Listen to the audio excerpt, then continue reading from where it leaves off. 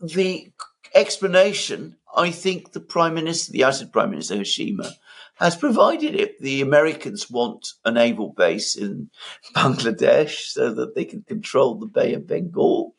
By the way, this is one of those bad ideas that has been floating around in um, the Pentagon for a very, very long time.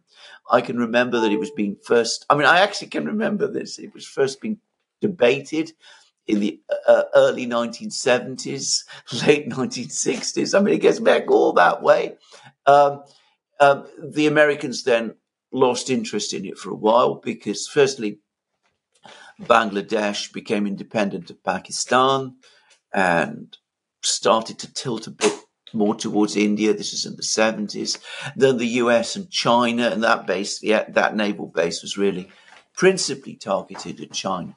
Um, in those days, uh, the US and China had a long period of very good relations.